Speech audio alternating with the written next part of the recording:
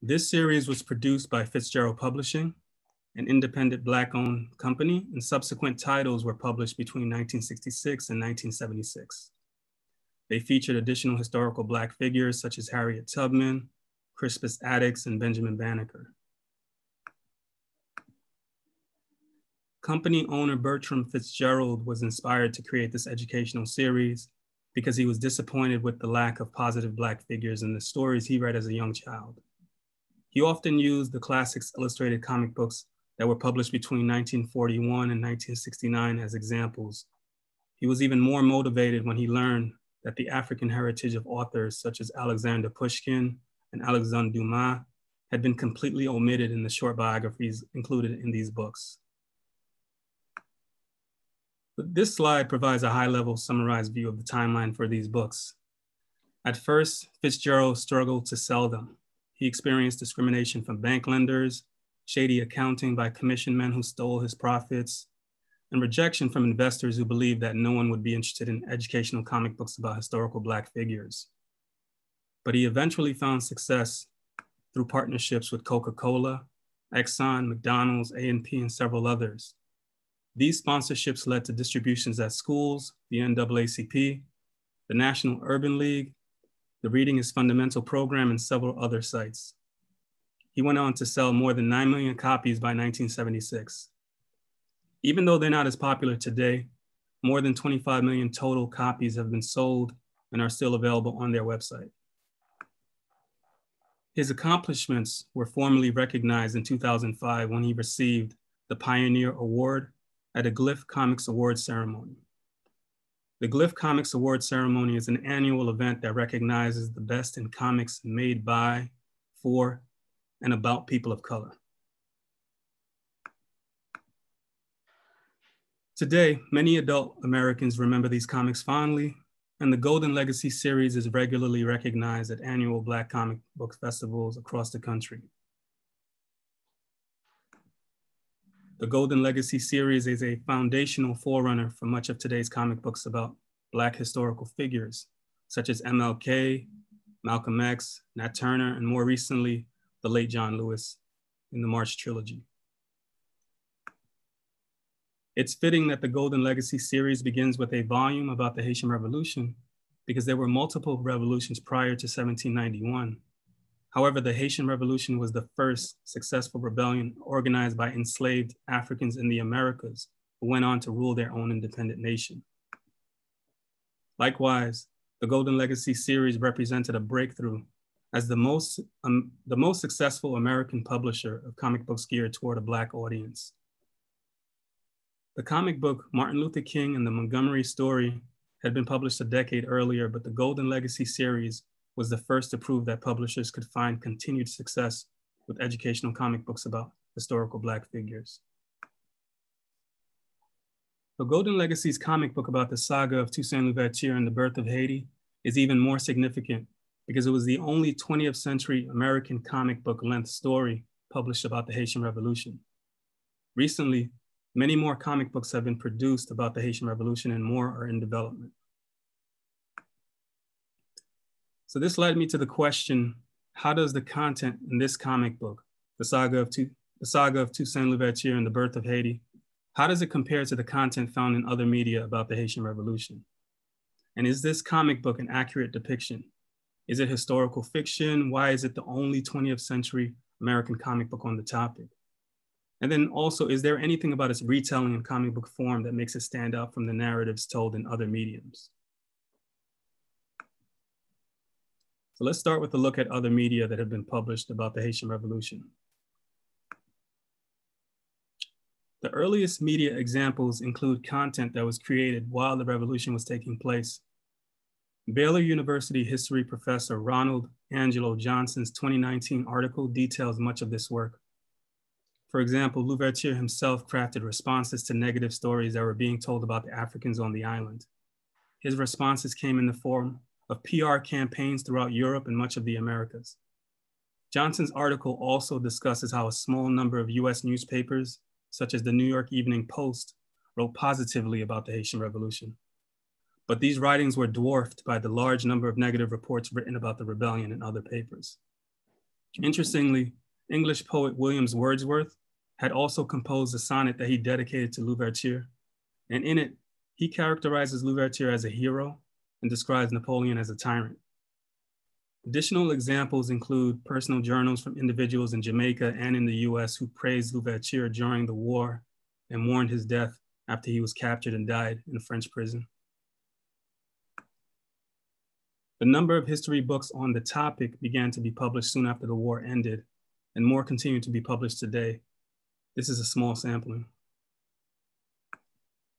And this slide includes some examples of historical fiction that were inspired by the revolution. In 1938, 21 year old Jacob Lawrence had completed his series, The Life of Toussaint Louverture.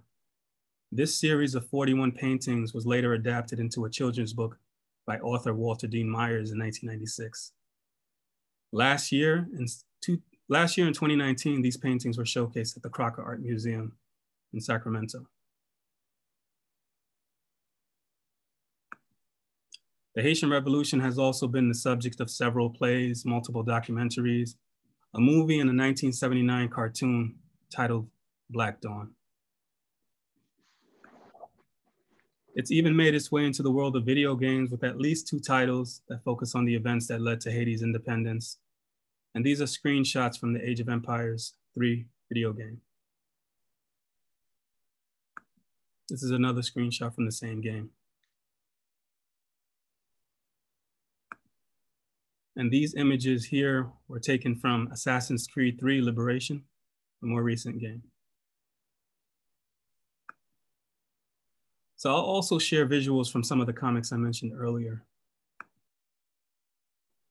This is an early example of a short story from, from 1941. It was titled The Story of Tyranny. But the main character was a young white boy, and in it, Haitian revolutionaries were briefly featured alongside many other historical figures from other revolutions throughout history.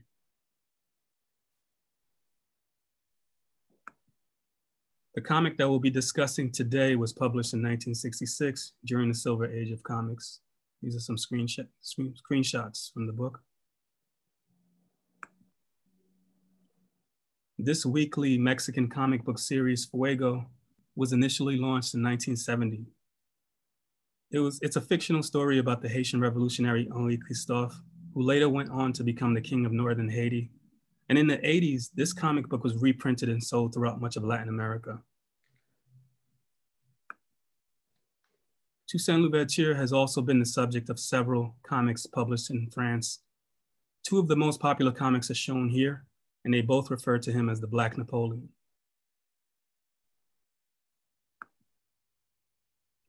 The comic on the left, Drums of Freedom, was produced in 2015 by Guyanese artist Barrington Brathwaite.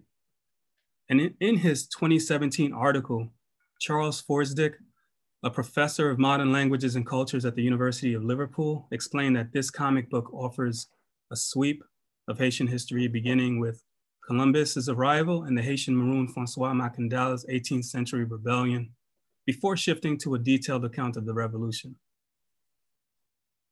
The comic book page on the right was published in 2016, and it briefly features the Haitian revolutionary Dutty, Dutty Boukman. It's from a comic book that's associated with the Assassin's Creed 3 Liberation video game I shared earlier. Digital comics about the Haitian Revolution have also been produced. In 2018, the comic on the left was published on the comics website, thenib.com. And on the right, the New Internationalist magazine published their own online comic in 2019 about the Haitian Revolution. It's available on their website at newint.org. So during my research, I found multiple sources that engaged in reviews and analyses of many texts and artwork about the Haitian Revolution. And as with many other historical events, there are different perspectives about what occurred in the past. But much of the research suggests that the Haitian Revolution is portrayed as either an African achievement or as an unlucky series of events that took the French Empire by surprise.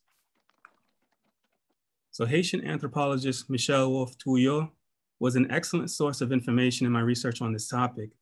In his 1995 book, Silencing the Past, It describes two types of formulas of erasure that are used in anti-African perspectives about the Haitian Revolution. Lotuyo, he explains that the first formula of erasure is often used by generalists, such as textbook authors. These individuals often erase the fact that something happened by excluding it. And a second type of formula of erasure can come from specialists who are experts on the topic. Like they might acknowledge that something occurred, but some will trivialize it and remove the fact the facts that don't fit their agenda. Some additional examples where this occurs beyond the Haitian Revolution are with slavery in America or with the Holocaust. So when trivializing slavery, some common statements include it wasn't that bad or that slavery also happened to non-Blacks. And with the Holocaust, similar attempts might include phrases such as it didn't really happen or that the Germans didn't really build gas chambers. When discussing the Haitian Revolution, and the silencing that has occurred around this topic, a 2005 article by German anthropologist Thomas, Thomas Reinhardt describes three trivializing tropes. These trivializing tropes are used by writers with anti-African stances. And number one, the first thing they'll, they'll, they'll mention is that they'll argue for an exceptional Louverture. They'll say that he acts like a European and succeeds as a European, and they believe these are the sole reasons for his success. Number two, they'll blame bad weather, mean bugs, and competing European powers for the losses that France experienced. They'll claim that the African revolutionaries didn't have the intelligence needed to defeat Napoleon. And the third trope is they'll portray Africans as barbarians who revert to their savage state in the absence of white control. This is driven by their belief in the superiority of European peoples and powers. So after considering these perspectives about the trivializing tropes and the question I shared earlier, I decided to investigate the context surrounding the production and distribution of the comic. And I'll share some of those details now. So the saga of Toussaint Louverture and the birth of Haiti was published in 1966 during the latter years of the US's civil rights movement. Brown versus the Board of Ed had initiated the integration of public schools, Nonviolent protests such as sit-ins, bus boycotts, freedom rides, and marches were common across the country at this time. And city riots were also erupting across the country in response to the instances of police brutality and the murders of unarmed Black people. The Black Panther Party for Self-Defense had also been founded in Oakland, California that same year in 1966. In 1966, the nation was also mourning the assassinations of multiple individuals. By this time, we had lost Medgar Evers, JFK, and Malcolm X.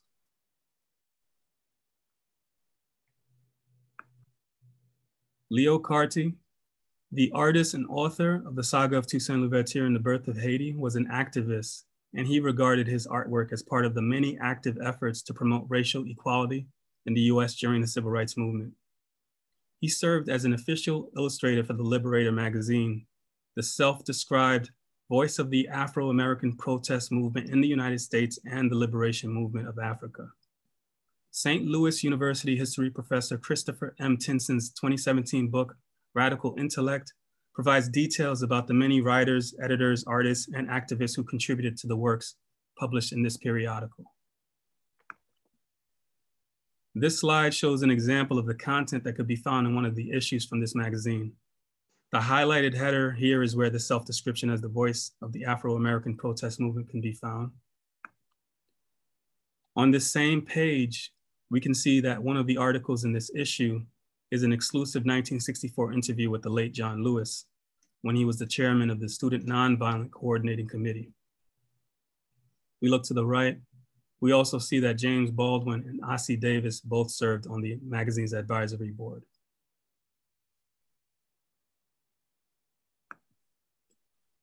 Before Carty's work with the Liberator, he met Fitzgerald in the Air Force where they had both served in the Korean War. Several years after they completed their military service, they teamed up and decided that working on a comic book would be the best mode of delivery for Black history facts because they also wanted children to be interested in the content. However, the one obstacle to their approach, or, or one of the main obstacles to their approach, was the social stigma against comic books. At this time, German American psychologist Fredric Wertham had succeeded in convincing parents, educators, and politicians that comic books were negative influences on children's development. So, in an effort to avoid these negative associations with comics, Fitzgerald and Carty referred to the Golden Legacy volumes as magazines. So now that we've briefly established the context surrounding the production and release of the comic, I'd like to demonstrate how this book pushes back against the trivializing tropes that are often used in anti-African perspectives about the Haitian Revolution. So first, I'd like to remind us all again of the three trivializing tropes I discussed earlier. So number one, there's the belief that Louverture was acting and succeeding on European terms. Number two, some authors argued that the formerly enslaved Africans were not skilled enough to defeat, defeat Napoleon in war. And number three, it's believed that African-led nations face hardships because they're barbaric. So, however, like many other pro-African authors who had studied the Haitian Revolution and the many sources that existed from that time period, Carty's comic book pushes back on the tropes by accentuating the African influences on Louverture's formative years that contributed to his success. Number two, by demonstrating the strategic decisions and actions made by Africans that led to their victories. Number three, by pushing back on the depiction of Africans as savage barbarians who were inferior to whites. So when describing the first trivializing trope, Reinhardt writes that many texts concentrate on isolated persons or events and empty them of their revolutionary content. In relation to Louverture, he writes that it's exactly the practice of presenting Toussaint as so outstanding a Black person that obliterates the fact that he was Black. And in most biographies, he acts like a European and succeeds as a European. When Louverture is referred to as the Black Napoleon in these French comic books, I believe it serves this purpose by suggesting that his goals are inspired by Napoleon's aspirations. And in a 2014 interview, Doniger, the author of the comic book on the right, argued that his use of, of Black Napoleon in, in, the, in his graphic novel subtitle is justified because both men aspire to be rulers for life. But I argue that this reasoning ignores Louverture's revolutionary goals. Napoleon wanted to subjugate people while Louverture wanted to free the enslaved. Carty was a professionally trained artist and he recognized the importance of the arts and aesthetics, as well as the importance of visual representations of different groups in the media. But he also considered the socio-cultural impact of narratives, images, and art instruction on comic book consumers art education that centers white and European standards in conceptual and artistic development add to the problems of erasure in visual media. Carty recognized this impediment in his own education. And in a 1968 interview with WNYC, he stated that he went to very good art schools and was educated just like the white artists would be educated. Then came the day when I looked for my own image and I had none because all my values were white values as far as beauty and importance. I had no Black image, no Black values of myself. In this same interview, he also stated that he believed Blacks had been psychologically brainwashed into viewing themselves as inferior, and that one of the things that have to be repaired, one of the scars that have to be removed, is the Black man's image of himself. Carty believed that this could be achieved through positive depictions of Black people in visual mediums. Likewise, Fitzgerald recognized the erasure of Black contributions and the omission of African identities in his own media experiences. And in a 2011 interview in the Back Issue magazine, Fitzgerald reminds us again that he was motivated to launch Golden Legacy so that kids could explore the world of African American history at a time when such topics were virtually ignored in classrooms, much less comic books. Fitzgerald also stated in this interview that he specifically sought help from Carty because he had full knowledge of Louverture. Carty was extra motivated to write and illustrate the comic book in an attempt to reach the young Black children of America with an accurate record of their history, not only in the United States, but throughout the world. He also stated that as a young boy, Louverture was one of his heroes, and heroes is something that young Black kids really need today. His desire to provide Black kids with a hero makes the comic book format even more significant because this was the domain of superheroes. In his 2006 book, Superhero, The Secret Origins of Genre, of a Genre, Peter Coogan wrote, superheroes stand as metaphors for freedom, freedom to act without consequences and the freedom from the restrictions of gravity, the law, families, and romantic relationships. But by 1966, every mainstream comic book superhero had been white.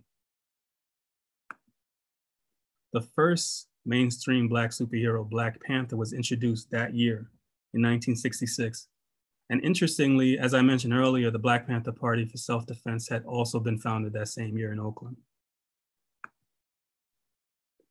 Once again, like I mentioned before, the freedom that they had at this time, the freedom to act without consequences, and the freedom from the restrictions of gravity, the law, families, and romantic relationships were only reserved for white superheroes before 1966 in a 1962 essay published four years before the saga of Toussaint Louverture would be published, Italian scholar, philosopher, and cultural critic Umberto Eco wrote that each of these heroes is gifted with such powers that he could take over the government, defeat the army, or alter the equilibrium of planetary politics.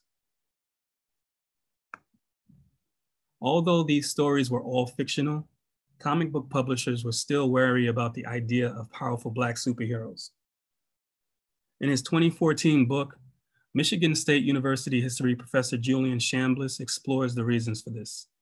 He wrote, when Black superheroes who had American backgrounds finally appeared in the 1960s and early 1970s in response to the interrelated rise of the Black Power movement and the Blaxploitation film fad, comic book writers struggled to create characters that seem authentically African American and non threatening to white audiences. With this understanding, I argue that Louverture as a comic book hero in 1966 was a metaphor for freedom from oppression and erasure. His successes in a comic book would have appeared impossibly heroic because African achievements and Black heroes were excluded from textbooks and mainstream comics. So I'll focus the rest of our time on how this comic book pushes back on the first trope. Very early in the story, Carty immediately solidifies Louverture's origins. He highlights the roles played by two African men during Toussaint's formative years. That's Louverture's father and his godfather. So on this screen, we can see screenshots from panels from the beginning of the story. Excuse me. So here we see multiple Africans exiting a ship. And in the second panel, the caption reads, Toussaint's father, an African of royal blood, was captured in warfare and sold into slavery. But this is partially similar to Henri Christophe's origin story in the 1970s Mexican comic book Fuego. As I mentioned earlier, this weekly comic book's first 192 issues focused on the Haitian revolutionary Henri Christophe. In his 2008 article, Middlebury professor of Hispanic visual culture Enrique Garcia explains that Christophe's parents are portrayed as monarchs of African and Arab origin. However, Fuego's claims concerning Christophe's ancestry have no historical basis, and Garcia informs us that it was inspired by a desire to tell Hispanic audiences that this version of Christophe is not completely African. But Louverture's regal African lineage is supported in history books, and it plays a central role in the saga of Toussaint Louverture and the birth of Haiti's narrative. As the story continues, readers learn that Toussaint's father's life was not as difficult as that of other enslaved people. This allowed him to instruct his son about their ancestral ways. And the caption in this panel states that his father taught him the use of herbs African medicine, which had been passed on to him by his father. Young Toussaint is also educated by his godfather, Pierre Baptiste. Baptiste introduces him to books that inspire his revolutionary spirit. Carty visually communicates this in one panel by placing Baptiste in the background as Louverture reads. And the caption for this panel states, about this time, Toussaint came across a book by Abbe Raynal that had a profound effect on him. The Abbe's book spoke of the suppressed power of the Blacks that needed just one thing to set it in motion. A courageous chief is wanted. Where is he? And in response to this, Louverture says to Baptiste, Where is the leader? For some reason, that stays with me all the time, Papa Pierre. And in the last two panels, Carty makes sure that the reader understands that these two men had a role in Louverture's development by showing Baptiste speaking to Toussaint's father. Here we can see him say, Mon ami, I think our task is done. His destiny calls him, he hears, but does not yet understand. As Louverture ages, he gains the respect of Blacks and whites. And the caption in this panel reads Toussaint became the head of the entire livery, had a wife, a home, and two sons. His position was held by only white men on the other plantations in the midst of the turmoil in San Domingo. And San Domingo was the, the name of the colony at the time.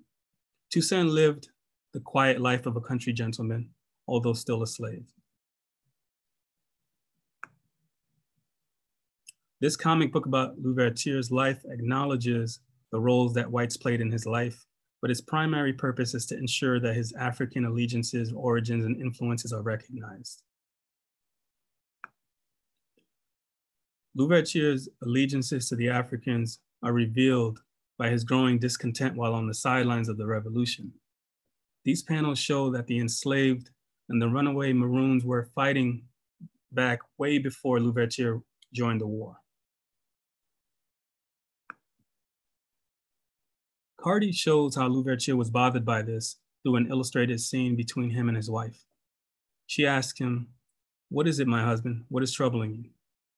And he responds, Here I am, safe and secure, while my brothers take to the hills to fight for our freedom. We too are slaves, my love. My place is with them.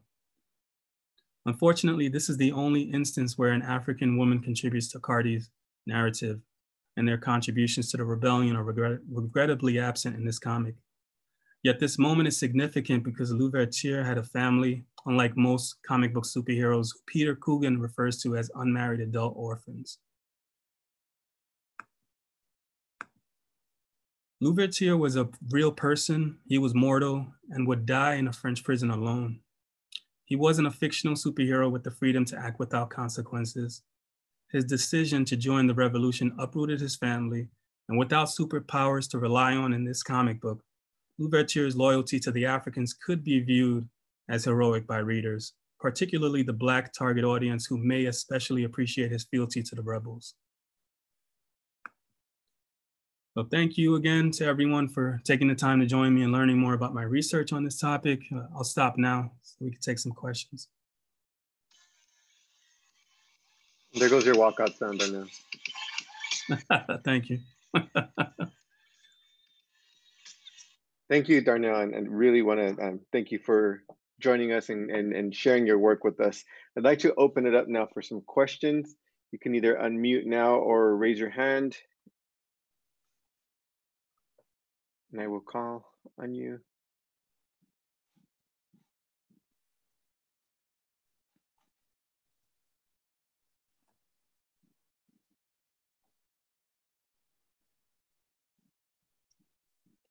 Sydney, go ahead.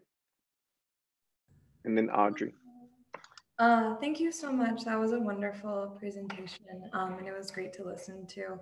Uh, I had a question about you had this moment where you talked on erasure and kind of like this um, distinction between generalized erasure and this kind of specialist. And I wonder if you could talk about whether you think one of those is more significant or more problematic than the other, or whether they're both equally um, as problematic or combined together.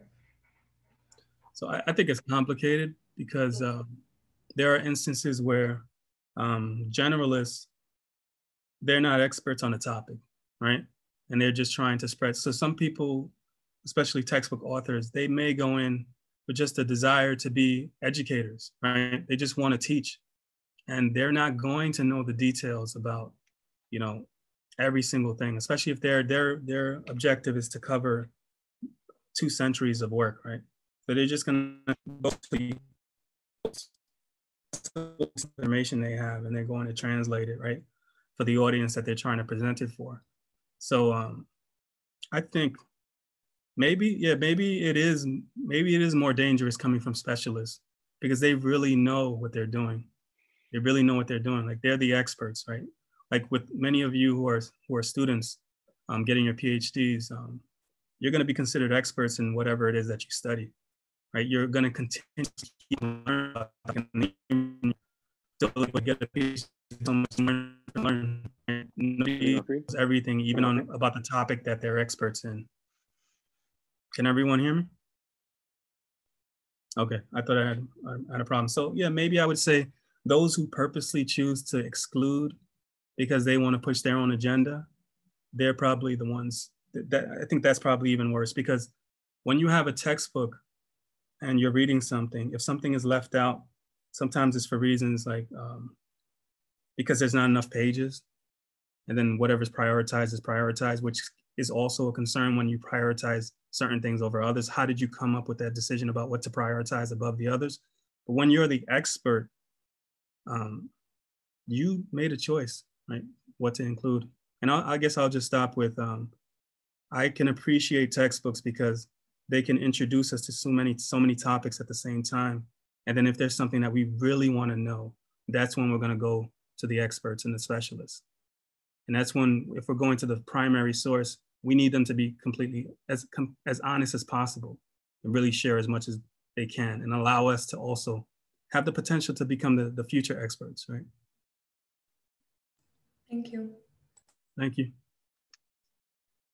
Audrey, you had your hand up, and next is Alfred. Perfect. Um, thank you so much.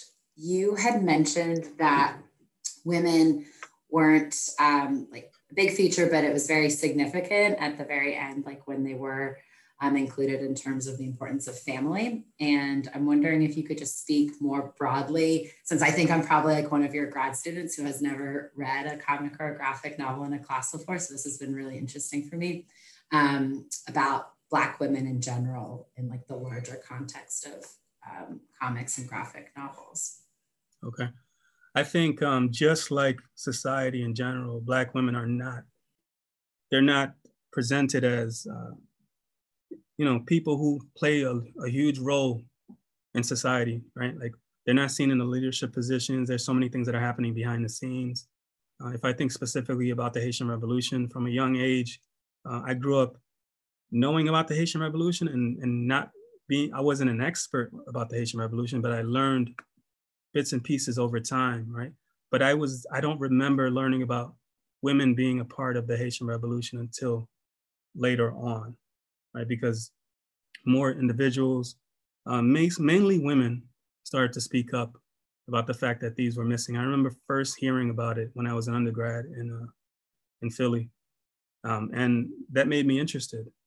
Um, so if I speak specifically about the Haitian Revolution and what was missing from the comic book, it's uh, the roles that they played in the war. Many of the women who fought, many of the people who were in the, in the military were women. It wasn't just men that were in the military. Uh, it's kind of like the, the Black Panthers. So many women played a big role in the Black Panthers, but who was in the leadership positions? You see men all the time, right? Um, I think, you know, things are changing a little bit. You see the three women who are in charge of the Black Lives Matters movement or who were the founders, you know, but um, I didn't know that they were necessarily the founders. I remember hearing about um, two men. I, I, can't remember their names right now. It's funny.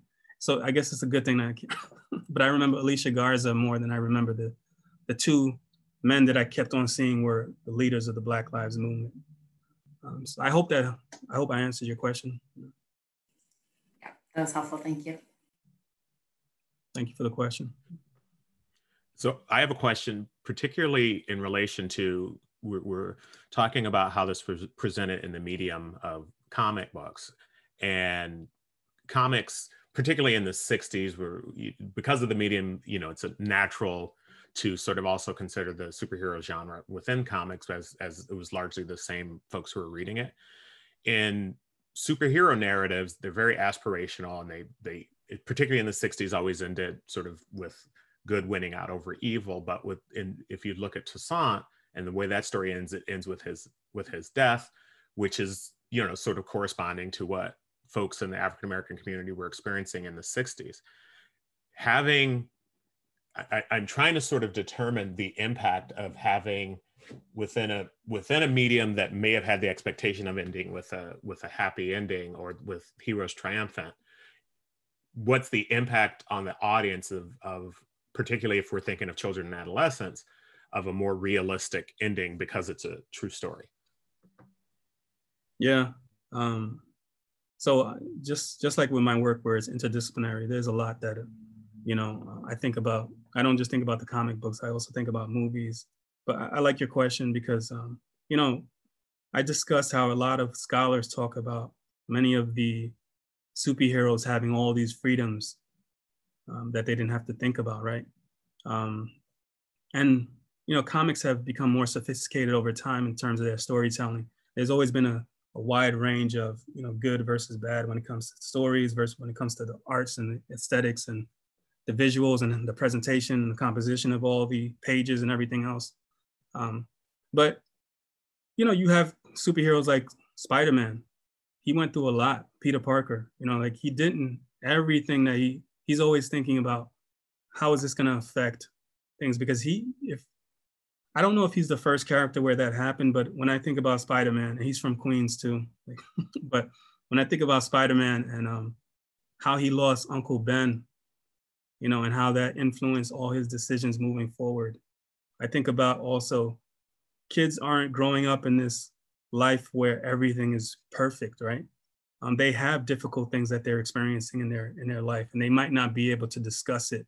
They might not be able to think about it and process it.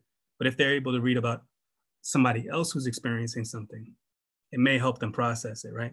And then maybe they'll have language and terminology because when when you read comics, you read it over and over and over and maybe they'll be able to discuss it with their parents a little bit more you know so the way that i always bring up comic books and other mediums in my classes is just this discussion about how media is just a form of communication right you have the air between us which is and, and those who've taken my classes they've heard me say this over and over but the air between us is the medium right like um, yes we're not using phones we're not using um, the internet but if i'm here and you're there I'm still trying to get what's in my mind to you.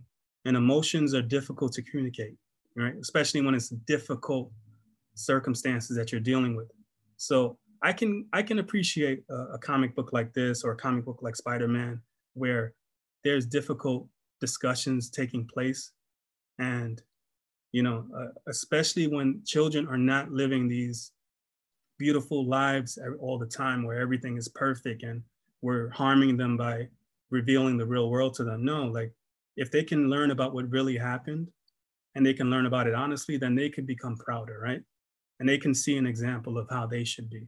So Toussaint's ending was uh, difficult, right? Like it's, it's really sad, but at the same time, there's a reason why people still discuss him today. There's a reason why people go to his um, his uh, burial site in France, right? There's a reason why France wants to hold on to him and make it seem like he was part of their history as well. Like they're not just making him a villain.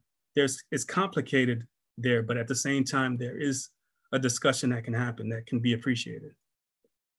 Now, thanks for the question. I'm going to try to squeeze two more questions in the remaining time. We have Sabina, then Annalisa. Okay. Hi. Thank you so much for your presentation. This was really interesting. Um, I just have a, hopefully it's kind of a quicker question. Um, have you ever come across any metaphors for Toussaint or the Haitian Revolution in other mainstream comics? Um, so maybe not like an explicit explanation of what happened, but maybe a metaphor or something that you think is a loose reference. Um, maybe in like Black Panther or any other Marvel or DC or more major comics. Yeah, I, I think you just said it. I think Black Panther I've heard discussed over and over. Multiple articles came out about how Black Panther was and Wakanda was similar to Haiti and the Haitian Revolution. And of course, they're speaking about it in the moment of uh, the Haitian Revolution taking place, right? In my article, I discuss why Haiti, you know, has experienced a lot of the struggles that they've experienced over time. You know, like, that's not what my article is about, but my article is about debunking this idea that Haiti is to blame for everything, right? Like only Haiti is to blame. And that's what a lot of authors, um, such as Philippe Girard and some others have said, like it's the ineptitude and the corruption in Haiti that caused all their problems. And yeah, but just to answer quickly, Black Panther, like that's that's what I've come across. There's a lot of good articles. Like if you just type in Black Panther, Haitian Revolution, a lot of interesting articles come up.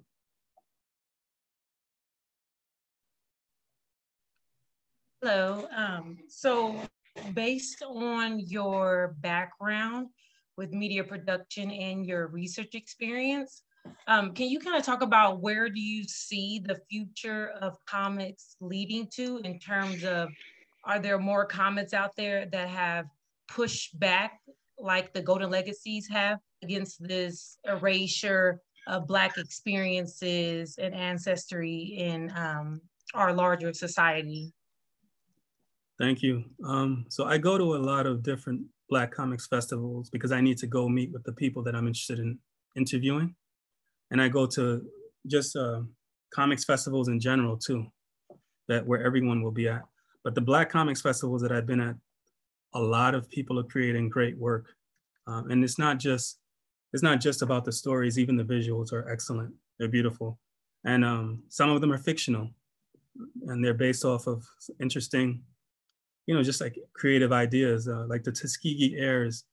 Um, there's a, a comic that's based off of them, and I can't remember the, the, the exact title. Like I would have to share it.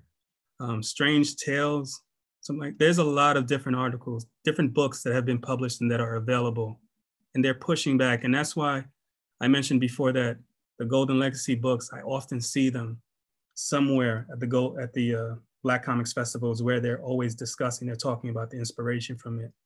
Um, so yes, some of it is historical fiction, some of it is just all fiction. And, and I see, you know, just the pushing back in the sense of having Black characters be a, a big part of the motivation, that it's not always an, uh, an educational experience. Sometimes it's just an entertainment experience that they want to put forth where children can see themselves represented as well. But thank you for the question.